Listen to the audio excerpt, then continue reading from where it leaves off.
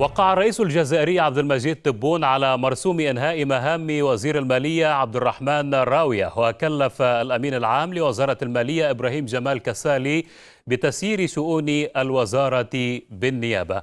وللمزيد من المتابعة ينضم إلينا من الجزائر مراسل الغد كريم قندولي. كريم ما هي ملابسات إنهاء مهام الوزير اولا؟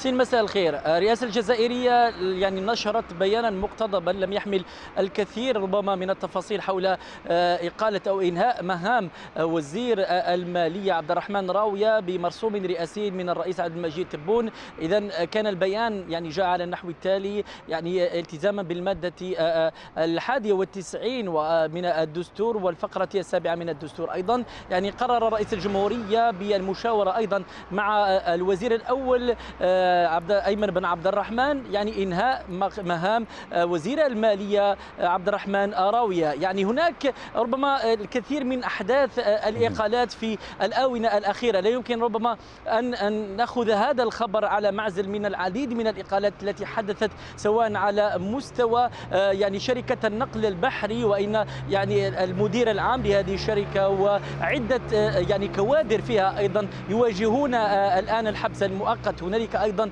إقالات على مستوى مطار الجزائر الدولي والعديد من المسؤولين الأمنيين من الشرطة هناك. يعني وكل ذلك يأتي بسبب تقصير من هؤلاء أو يعني حدوث أفعال يعني أساءت إلى ذلك. وقبلهم كان وزير النقل أيضا عيسى بكاي الذي تم إقالته وذكر بيان الرئاسة آنذاك بأنه يعني قام بفعل مسيء للجزائر. اذا هناك الرئيس عبد المجيد تبون حتى الآن لم يستقر بعد على الرجل الذي يستطيع أن ربما يترجم ويبلور أفكاره في مجال النهوض في الاقتصاد لا سيما في حقيبتي الصناعة والمالية. هذه الحقيبة خاصة الأخيرة نتكلم حول وزارة المالية التي من شأنها أن يعني تنظم سوق البنوك وأيضا يعني سوق الصرف والسياسات العامة المالية الموجودة والضرائب وغيرها. يعني قبل حوالي أربعة أشهر فقط تم الاستنجاد بعبد الرحمن راوية في 17 من فبراير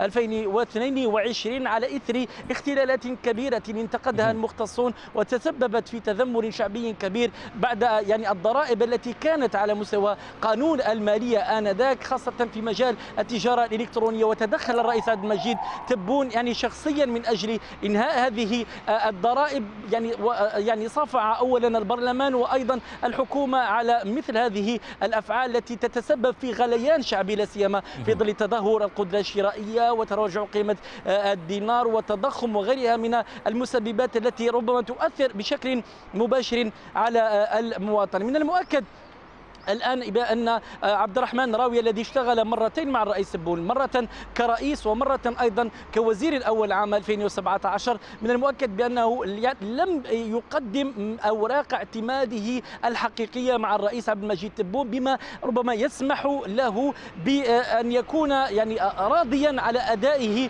وهو ما تبين من خلال يعني الفترة الأخيرة وحدثت الكثير من الأمور. نتكلم أيضا حول يعني شخصية أخرى وهو الامين العام لوزارة المالية والذي يعتبر من بين الخبراء في قطاع المالية. قد يراهن عليه مؤقتا وقد يزكيه لاحقا في انتظار ربما بعض الأخبار التي تتحدث حول تعديل حكومي سيطرأ في الأسابيع المقبلة وقد يؤدي ربما إلى أيضا يعني إزاحة بعض الوزراء الذين لم يقدموا ما هو منتظر منهم وجلب أسماء أخرى. لكن بعض المختصين يؤكدون بأن عدم الاستقرار على هذه الوزارة السيادية وهي وزارة المالية بكل ما تحمله من تحديات في النهوض بالاقتصاد المالي وتصحيح السياسات الاقتصادية والمالية الخاطئة سابقا لا سيما في العشرين سنة من زمن بوتفليقة شكرا. يعني هناك عدم استقرار يعني كان هناك الرئيس عبد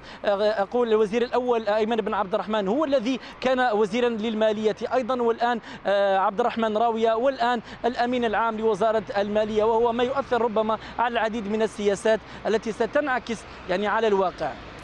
شكرا جزيلا لك على كل هذه الإيضاحات الزميل كريم قندولي مراسل الغد كان معنا من الجزائر.